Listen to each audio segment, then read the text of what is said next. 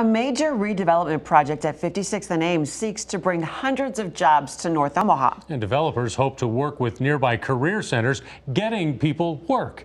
KETV News Watch Evans Alexandra Stone is live. Alexandra. Rob, Julie, this boarded up bowling alley may not look like much, but developers of this project have a vision for the space and for the economic impact it could have on North Omaha. There's no shortage of people at Heartland Workforce Solutions Thursday looking for employment, but many of the jobs aren't in this neighborhood. We work with individuals that have a lot of barriers, okay, and one of the big barriers is transportation. A redevelopment project at 56th and Ames seeks to change that. Omaha based White Lotus Group plans to redevelop this former bowling alley. We're calling it the Ames Innovation Center. Hoping to bring in tech jobs that have traditionally landed in far reaching metro suburbs.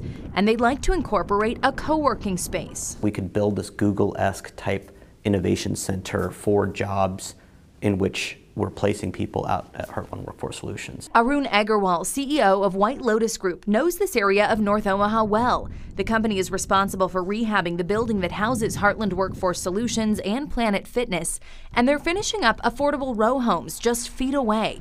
Agarwal's ambition just keeps growing. We have a unique goal. Walmart addition on 50th and Ames brought 200 plus jobs, and we're a competitive bunch, so our goal is to beat that number. Projects like the Walmart and a First National Bank branch tell the story of progress in this part of the city. What we're doing here is something that hasn't been done in a very long time. A lot of excitement in North Omaha, a lot of things going on that are, that are very positive, and we're just going to keep moving forward. Momentum, the Ames Innovation Center hopes to continue. We need this community to be uh, open for business.